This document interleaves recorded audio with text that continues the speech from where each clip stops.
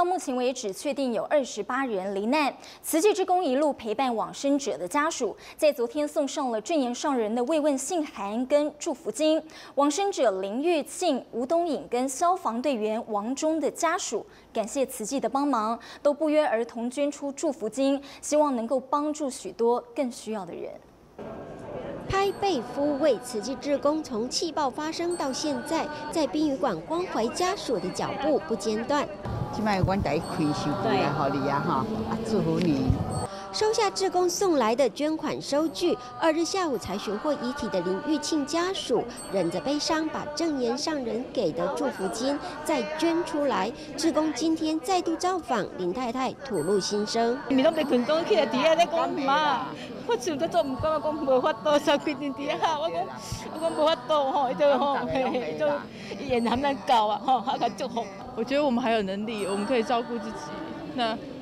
希望帮爸爸做一个功德，让他圆满，因为毕竟他这么痛苦的走。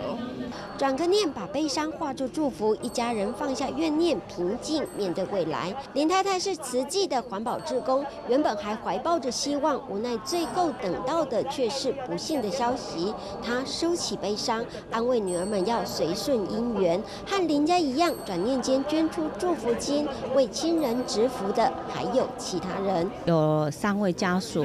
他觉得说，他想把那个慰问金，然后拿出来再回馈给需要帮助的人。志工的关怀带给家属面对的力量，也期盼他们早日走出悲伤，恢复平静生活。大爱新闻潘真、郑瑞平高雄报道。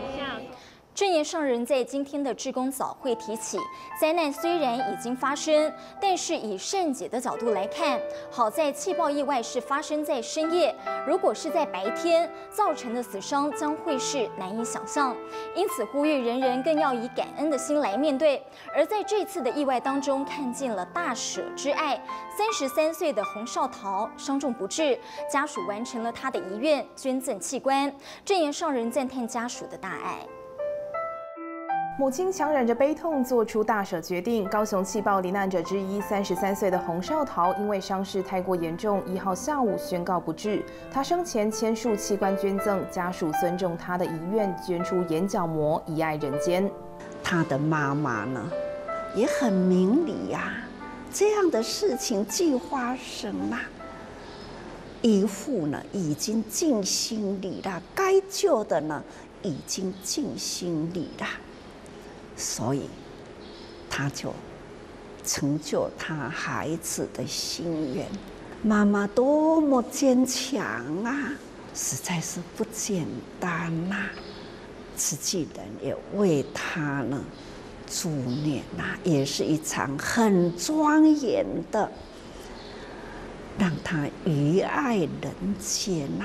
高雄气爆意外，慈济人以诚以情抚慰苦难，一天之内就动员两千多人次，在医院、殡仪馆以及安置中心关怀陪伴，甚至提供三餐热食便当。